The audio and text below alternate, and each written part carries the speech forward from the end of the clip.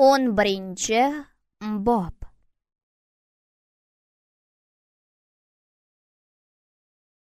Dubayning quyosh nurlari ostida yaltiraydigan osmon o'par binolari inson qo'li bilan bunyod etilgan orollari va mashhur zodagonlarning hashamatli villalaridan o'ttiz kilometr olisda sharja shahri joylashgan. Sharja o'ta konservativ islom markazi va birlashgan arab amirliklarining madaniy poytaxti hisoblanadi. 600 dan ortiq masjidi va eng yaxshi universitetlari bilan sharja ilohiyot va fan borasida yuksak marraga erishgandi. Uning yutuqlarida behisob neft manbalaridan keladigan daromad hamda xalqining sifatli ta'lim olishini har narsadan ustun qo'yuvchi boshqaruvchining o'rni beqiyos edi. Bu oqshom sharja aholisiga qadrdon alloma said al fadlning oilasi ibodat uchun bir joyga to'plandi. Bu safar an'anaviy tahajjud namozini o'qish o'rniga ular kuni kecha sirli ravishda g'oyib bo'lgan sevimli dada amaki va turmush o'rtoqlarining sog' omon qaytishini so'rab sajdaga bosh qo'ydilar. Mahalliy nashrlarning yozishicha hamkasblaridan bir ikki kun oldin dunyo dinlari parlamenti yig'ilishidan qaytganidan beri alloma o'zini juda g'alati tutganini gapirib bergan. Hamkasbi shuningdek saidning telefonda kim bilandir qattiq tortishganini eshitgan. Suhbat inglizcha bo'lgani uchun u hech vaqoni tushunmagan. Lekin alloma bir ismni qayta qayta takrorlaganiga ishonchi komil edi. Edmond kirsh aziz do'stlar kanalimizga a'zo bo'lmagan bo'lsangiz a'zo bo'ling qo'ng'iroqcha tugmasini bosib qo'ying. Shu orqali siz keyingi videolarimizni ham o'tkazib yubormaysiz. O'n ikkinchi bob. Spiraldagi yo'lak orqali tashqariga qarab yurarkan lengdonning o'y xayollari chalkashib ketdi. Edmund bilan suhbati ham qiziqarli ham xavotirli bo'ldi. Kirshning da'volari qanchalik mubolag'a bo'lmasin shogirdi dunyoni o'zgartiradigan nimadir kashf qilgani aniq edi. Kopernik kashfiyotidek muhim topilma nima bo'lishi mumkin? Nihoyat lendon tunneldan chiqib olgach boshi aylanayotganini his qildi. U polga qo'yib ketgan quloqchinni qayta taqdi. Uinston shu yerdamisiz? Qisqa tiqirlashdan so'ng britancha talaffuz eshitildi. Salom professor. Men shu yerdaman. Janob kirsh sizni xizmatchilar foydalanadigan liftga olib borishimni so'radi. Chunki atriumga qaytish uchun vaqtimiz juda oz. U shuningdek ichi kengroq xizmat liftimi sizga yoqishiga umid qildi. Kirshning himmati cheksiz. U klaustrofobiyam borligidan xabardor. Endi men ham buni bilaman va hech qachon unutmayman. Uinstonning ko'rsatmasiga amal qilib langdon yon tarafdagi eshikka qarab yurdi. U yerdan beton yo'lakka chiqdi. Va'da qilingan lift kabinasi haqiqatdan ham katta o'lchamli san'at asarini tashishga mo'ljallangan bo'lib kenggina edi. Eng pastki tugmani bosing. Ko'rsatma berdi uinston langdon liftga kirarkan. Uchinchi qavatga boramiz. Manzilga yetib kelgach lengdon tashqariga qadam bosdi. Juda soz. Lengdonning boshi ichida uinstonning xushchaqchaq tovushi jarangladi chap tarafingizdagi galeriyaga yuring. U bizni to'g'ri namoyishlar zaliga eltadi.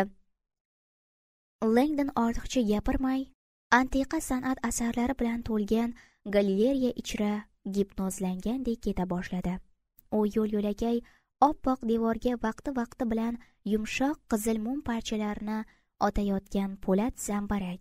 Simdan to'qilgani uchun suzishga yaroqsiz qayiq silliqlangan metal parchalaridan qurilgan shaharning mitti maketi kabi ajoyib narsalarni ko'rdi. Galeriyaning chiqaverishdagi katta o'lchamli narsa lengdonning e'tiborini shunchalik tortdiki professor chaqmoq urgandek joyida qotib qoldi.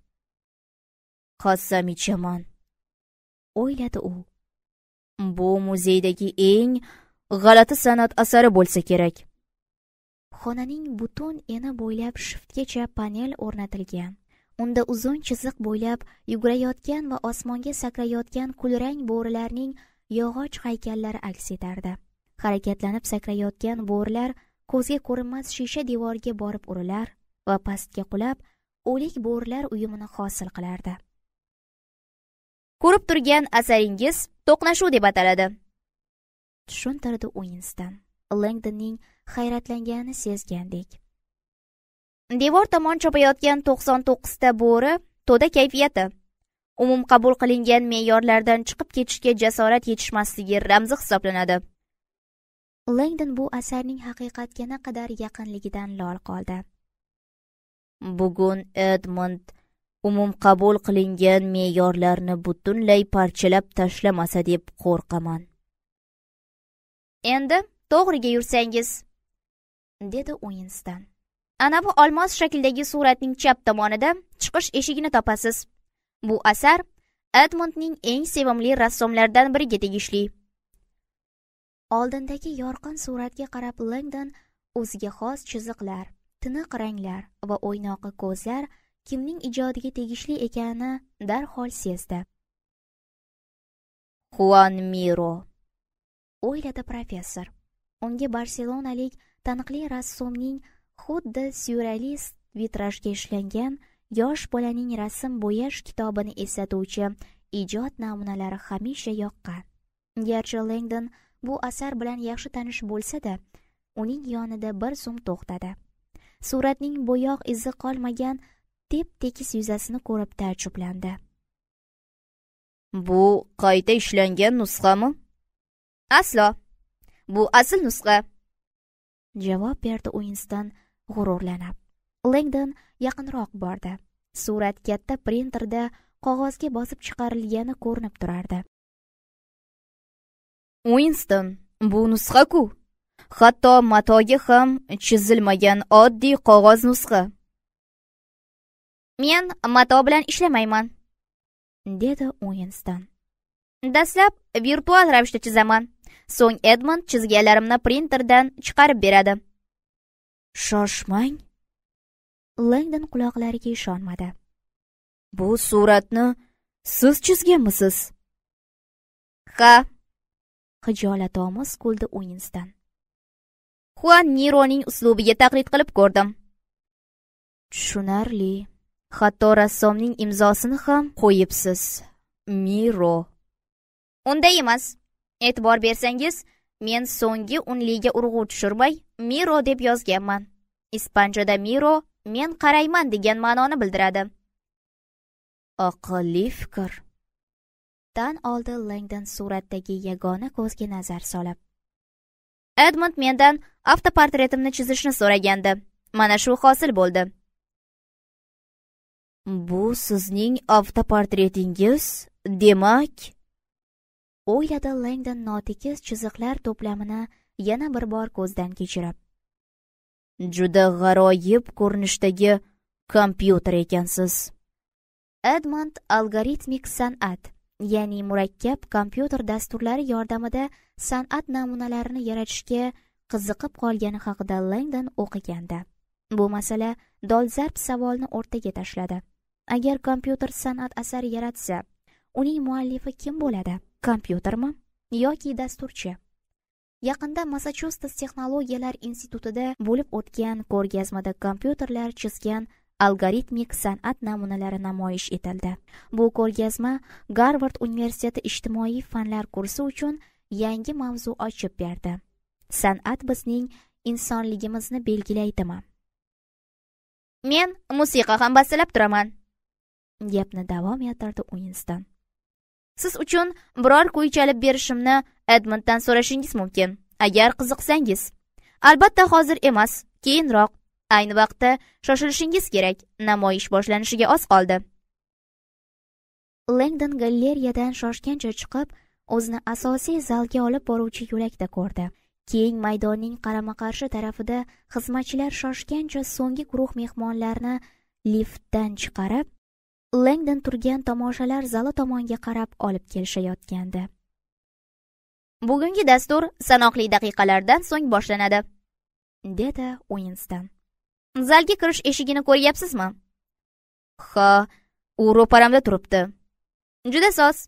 So'nggi ko'rsatma zalga kirganingizda quloqchinlarni tashlash uchun mo'ljallangan qutilarni ko'rasiz. Edmond sizdan quloqchiningizni tashlamasdan yoningizda saqlashingizni so'radi. Mana shu bilan taqdimot tugagach sizni orqa eshikdan tiqilinchga qolmay muzeydan olib chiqishga ko'maklashaman siz esa bemalol taksi ushlaysiz. Langdonning ko'z oldiga edmond vizitkasiga yozib taksi haydovchisiga ko'rsatishini tayinlagan harflar va raqamlar keldi. Uinston edmond menga bos uch yuz qirq olti deb yozib berdi.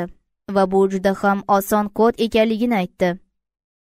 U haq darhol javob qaytardi uinston endi esa professor dastur boshlanish arafasida turibdi. Janob kirshning taqdimoti yoqadi deb umid qilaman. Sizga keyinroq hamrohlik qilaman. Qisqa tiqirlash eshitilib uinston bilan aloqa uzildi.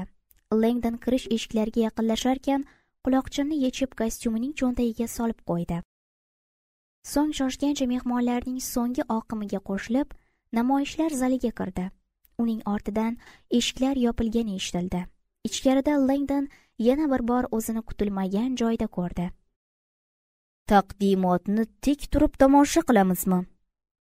Lengdon taqdimot deganda odamlar keng joydagi qulay o'rindiqlarga o'rnashib edmondning yangiligini bemalol eshitishini tasavvur qilgandi.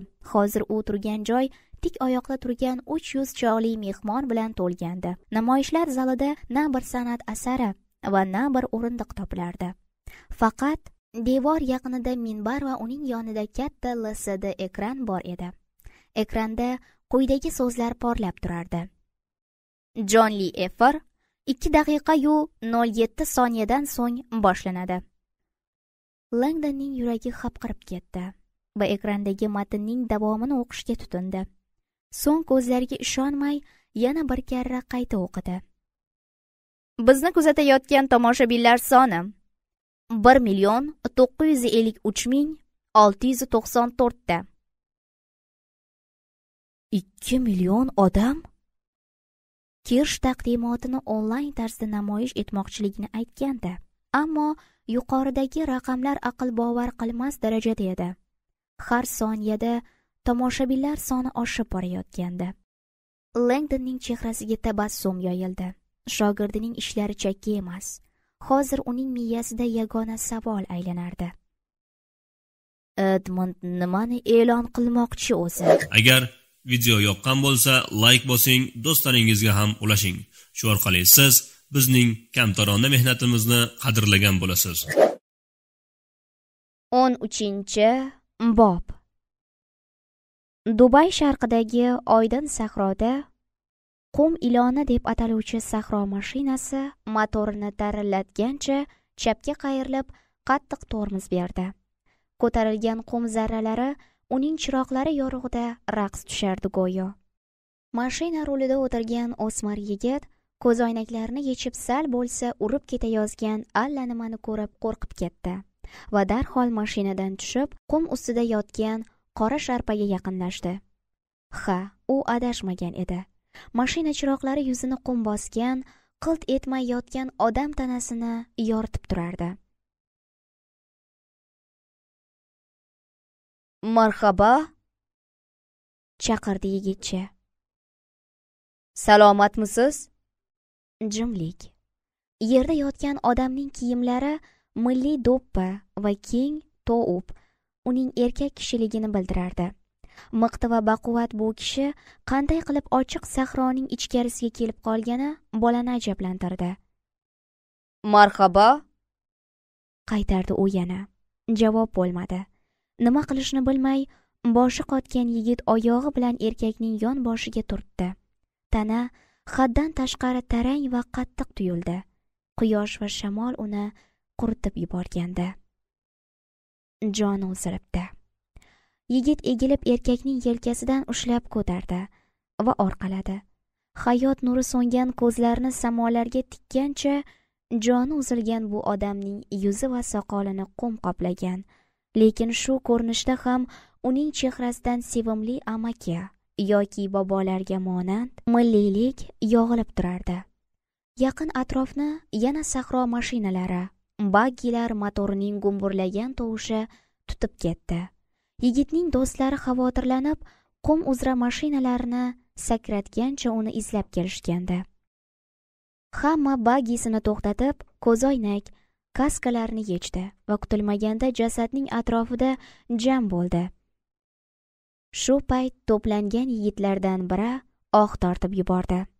U vafot etgan odam tez tez universitetida ma'ruza o'qib turuvchi taniqli olim va diniy rahnamo alloma said al fadil ekanini tanigandi. U hayajon ila bilganlarini do'stlariga so'zlagach baland ovozda so'radi. Maza alayna nafal. Endi nima qilamiz? Bolalar aylana bo'lib turgancha damlarini chiqarmay goh murdaga goh bir birlariga tikilib turishdi. Keyin barcha o'smirlar kabi yo'l tutishdi. Yonlaridagi mobil apparatlarni chiqarib jasadni rasmga olishdi va do'stlariga bu haqda xabar berishni boshlashdi. Izohlarda o'z fikringizni qoldiring kitobni muhokama qiling. Shu orqali siz bilan biz birgalikda tinglaganlarimizni muhokama qilamiz. Fikrlar almashamiz audio kitob javonni tinglashda davom eting.